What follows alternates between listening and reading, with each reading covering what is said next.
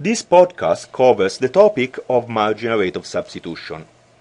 You will learn the definition of the marginal rate of substitution, also called MRS, the economic interpretation of the MRS, and how the MRS changes along an indifference curve. Let me start with the definition. The marginal rate of, of, substitution of good 1 for good 2 is the absolute value of the slope of the indifference curve. The economic interpretation is that the marginal rate of substitution tells you how much a consumer values an extra unit of good 1 in terms of good 2. For example, the value of an extra unit of coffee in terms of eggs. So, are you simply saying that the MRS is a measure of how much Mary likes one extra unit of coffee in terms of eggs? Yes. So, why does the slope of the indifference curve give us the marginal value of good 1 in terms of good 2? Uh, to keep things easy, imagine for a second that the indifference curve pass to the, passing to the basket A is linear. And imagine that the slope is uh, negative 3. That is, the marginal rate of substitution is equal to 3. Assume that Mary has uh, 5 pounds of coffee and 8 dozen eggs, uh, the basket A. Now, you go to Mary and tell her that you're willing to give her some coffee at the rate of 2 dozen eggs per pound of coffee. Would she be willing to buy coffee from you? Uh, okay, hold on. Let me see if I can get this right. If she does not buy coffee from me, then she can always just consume the her original basket at point A.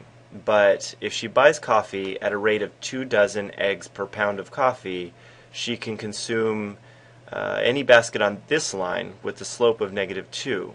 For example, the basket C with 6 pounds of coffee and 6 dozen eggs. This is absolutely right. Well, then of course Mary would be willing to buy coffee from me. That's right.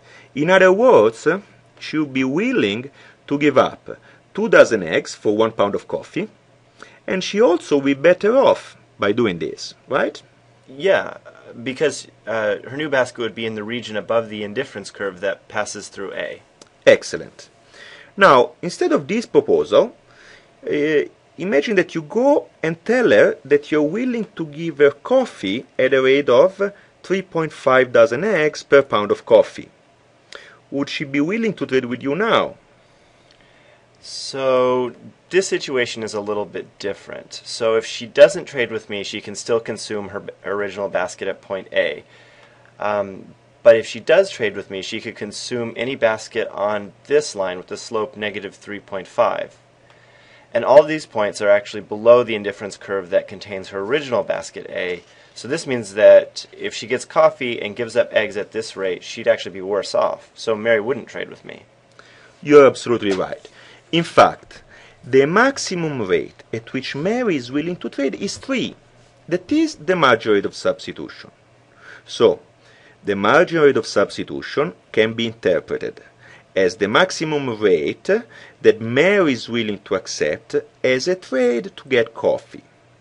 In other words, the marginal rate of substitution is the maximum number of eggs that Mary is willing to give up for an extra unit of coffee. Now, do the same mental exercise, but this time Imagine that you go to Mary and ask her if she is willing to give you coffee at a rate of 3.5 dozen eggs for a pound of coffee. Would she be willing to trade with you accepting 3.5 dozen eggs for a pound of coffee?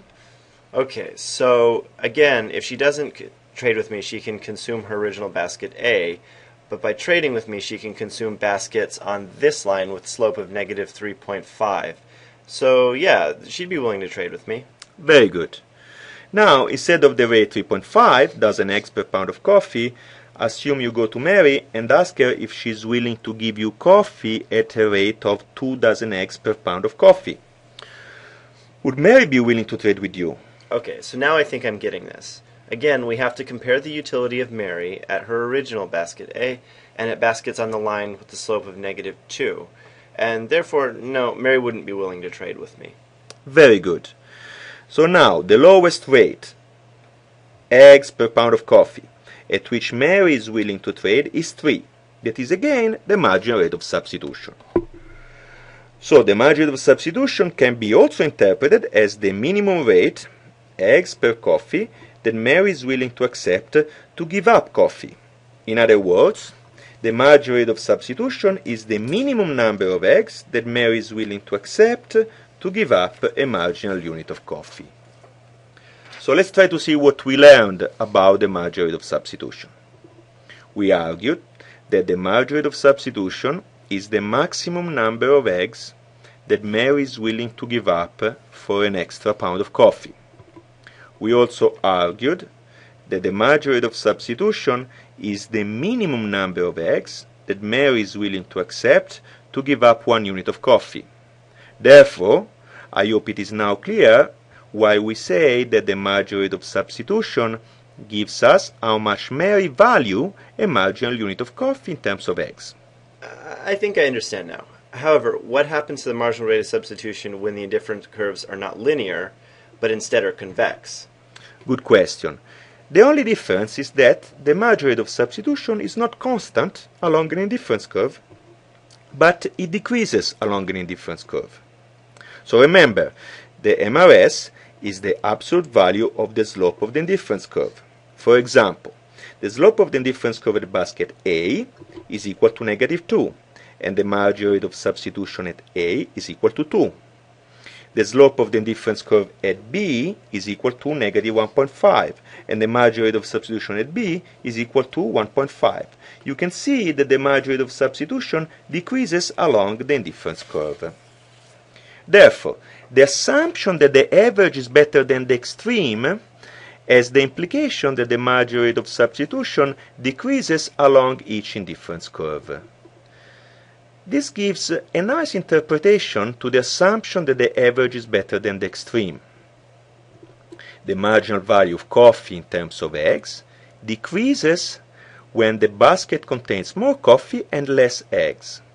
If Mary is consuming basket A, her marginal rate of substitution is equal to 2, and so it is her marginal value of coffee in terms of eggs.